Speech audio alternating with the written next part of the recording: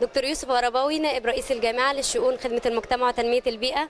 دكتور أهلا معانا أهلا بحضرتك معانا على قناة جامعة جنوب الوادي. مرحبا يا فندم. يا دكتور عايزين نعرف رأي حضرتك في المؤتمر الدولي الرابع للدراسات البيئية. المؤتمر الدولي الرابع للدراسات البيئية واضح من اسمه الرابع يعني سلسلة مؤتمرات وده رقم أربعة في السلسلة دي. المؤتمر السنة دي آه، 73 بحث آه، للإلقاء. آه، المؤتمر السنة دي فيه 38 بحث من داخل جامعة جنوب الوادي و35 بحث من آه، خارج الجامعة. آه، برضو في باحثين من المملكة العربية السعودية شرفنا بتواجدهم معنا وباحثين من دولة الكويت الشقيقة. المؤتمر بيغطي محاور عدة يمكن أهمها الملوثات المختلفة وإدارتها النقل والطاقة الغذاء والزراعة والتقنيات الحديثة التشريعات البيئية آه، الت- التعليم والتوعية البيئية. أكثر من محور بيغطيها المؤتمر العدد الكبير من الأبحاث ده بإذن الله تعالى نتوصل آه، لتوصيات آه، قابلة للتطبيق. نضعها بالفعل أمام أو تحت نظر المسؤولين وخصوصا حاليا توجه الدولة نحو تفعيل دور الجامعات في خدمة مجتمعها. يمكن زي ما أنا اتكلمت في في ال- في اللقاء آخر تكليف من فخامة الرئيس عبد الفتاح السيسي للجامعات إنشاء وحدات داخل الجامعات منوطه برصد وحل وعلاج المشكلات التي يواجهها المجتمع المحيط بالجامعة. فإحنا بالفعل المؤتمر ده بداية لهذا التوجه.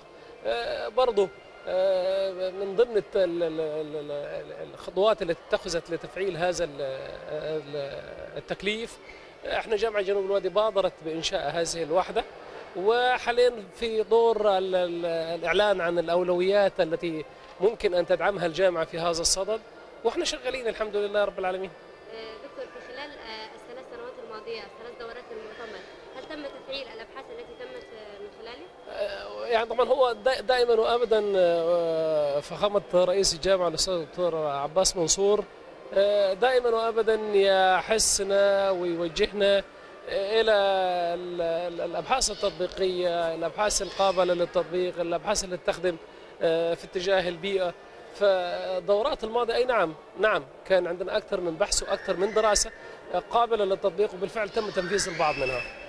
وهذه الدورة وهذه الدورة 73 بحث 73 بحث بيغطوا مختلف محاور المؤتمر بيغطوا مختلف الاتجاهات البيئية المختلفة أنا أتوقع بإذن الله تعالى من خلال سماعنا لما يعرض من أبحاث من داخل وخارج مصر ومن داخل وخارج الجامعة أكيد يبقى عندنا منتج قابل للتطبيق بإذن الله تعالى. على الأقل في الأبحاث دي لو طلعنا بنص الأبحاث دي لو أنا كنت يعني مبالغ أو آه، متعشن واملا املا كبيرا نص الأبحاث دي بإذن الله تعالى تكون قابلة للتطبيق.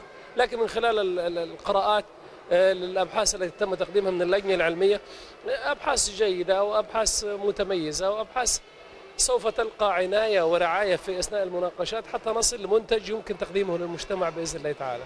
شكرا حضرتك دكتور يوسف ومزيد من النجاح لقطاع المجتمع البيئه شكرا يا فندم ودائما مزيد من النجاحات لقناة جامعة جنوب الوادي وشبابها الواعد ودائما قناة الجامعة المشاركة في أفراح الجامعة.